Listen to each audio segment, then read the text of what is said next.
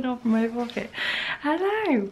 Welcome to the start of the third, no, fourth and final vlog of Scandinavia. We are finally off the boat, thank goodness. And we're now in Copenhagen. Yay! So I'm in my room. It is 11.04 in the morning. We literally got off the boat, came and found our hotel. It was ready. So we're in. Um, I thought I'd quickly show you now because we all know the moment I get into a room it's messy. So we're in the Comfort Hotel um, and it's in Copenhagen near the train station. That's the best I can do, yeah, because I don't know where I am. Oh, there we go. Comfort Hotel Festival. Now I've got some light in the situation. Front door bathroom, toilet, shower, out into the main room, hangers, TV, really snazzy lights, I'm a fan, and bed. This is a single room I think, or at least that's what they called it downstairs, although there is a double bed. I don't know. And then lovely mirror here, hi. OOTD. and that's it. It's for two nights. We're here, today's Friday, so Friday, Saturday, Sunday, and then we go home. Sunday is a bank holiday for quote for Denmark, so it could be interesting. But yeah, we're here back on we're back on dry land. I'm so excited to explore the city without a big 20 kilogram case. Let's go and do some exploring.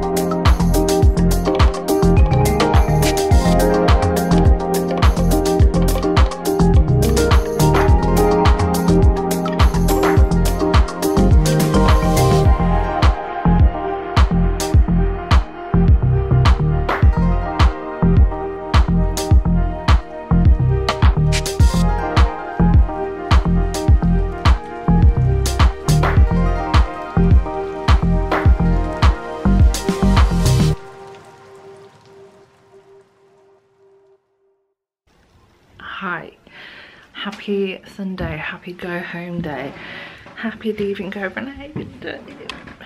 My body is so sad my eye won't stop watering. It really stings as well. I'm hoping it's just like hay fever or something like that. Not feeling its best though today. Um, and I did just say on social media, I was like, I don't want to leave Scandinavia, but at the same time I kind of need to, I'm falling apart. Everything aches, my eyes watering, I've got blisters on my feet. It's been a lovely trip, but when you come away and you do like an average 10 miles a day for nine days, eight days,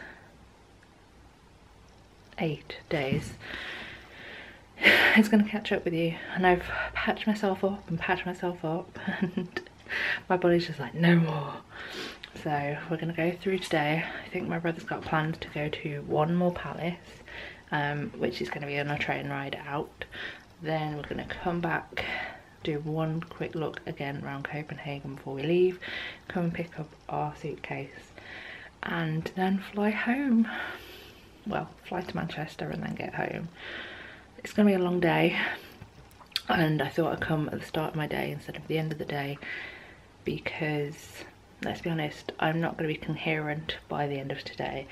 So here is me departing you on the vlog. There's obviously going to be a couple more minutes after this of today um, but I hope you enjoyed my Scandinavian trip and yeah bye